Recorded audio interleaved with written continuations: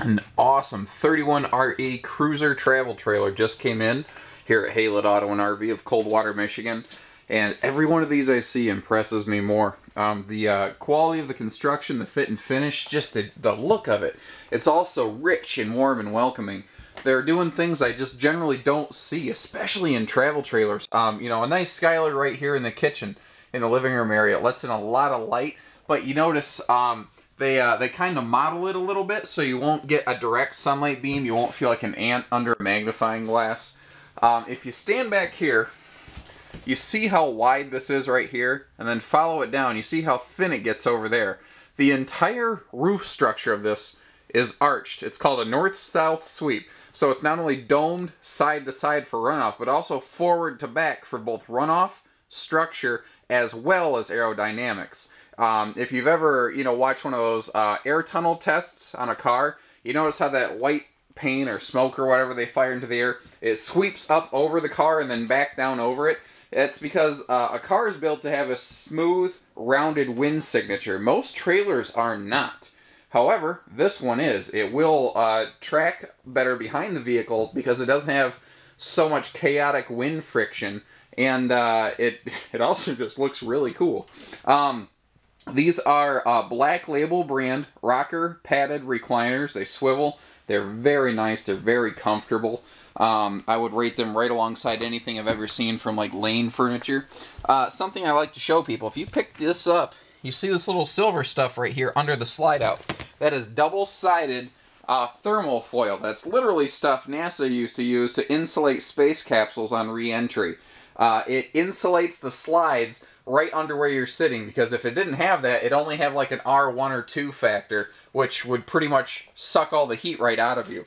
Now, uh, the TV is going to be included with this. We simply pull them out before uh, filming so that uh, you're the first person to touch them when you take them home. Your DVD stereo is also Bluetooth enabled. So, you take your uh, handy smartphone, link it wirelessly to this thing, and you can play music on your phone, keep your phone in your pocket through your camper stereo. Very cool stuff. Your hide-a-bed is a tri-fold memory foam sofa, no inner springs, no air mattresses. It's our queen bed. Two adults can sleep on this comfortably. And the uh, the storage, you know, you see a lot of campers have storage above the sofa or the, the rear entertainment center. I see a lot of them aren't putting struts on the doors to keep them open. Also, most of them do not have this depth of storage. This is far deeper than normal. Here, let me give you an example. Pardon me, I'm going to walk you around real quick here. You'd probably all agree that's about the size of a dinner plate, right? Well, to give you a perspective here, you see how far back that goes. How much space there is in here. Tons of space within the storage area. And that's just one of these many pockets. Um, we also have, uh, you know, plenty of full extension ball bearing glide drawers on 70 pound rated glides. Um, the, uh, again, more amazing fit and finish. You don't see crown molding like this in a travel trailer all over the place. It's gorgeous. Your, uh, you know, cabinet construction, I'm not worried about that falling apart personally.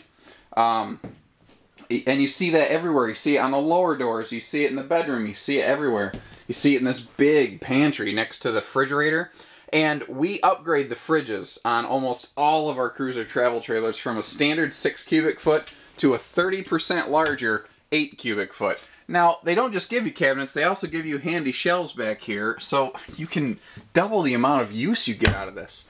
Another upgrade you really can't see, but we almost always put them in everything, is a, uh, a 15,000 BTU air conditioner instead of a standard 13.5. Um, if you're not an HVAC expert, then in English what that means is 50% more cold air power in this RV as compared to a standard build.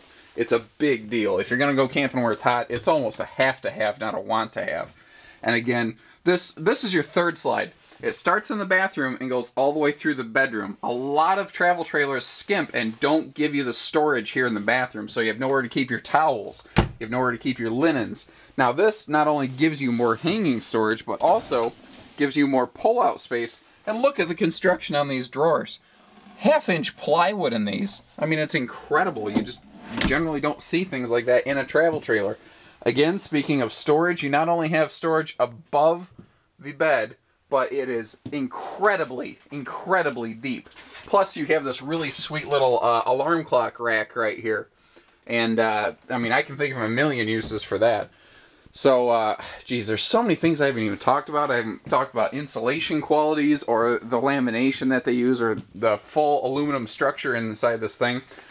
And I've already gone five and a half minutes, which is more than I prefer. So give us a call to learn even more about these cruiser RVs. 800 256 5196. Haylett Auto and RV of Coldwater, Michigan.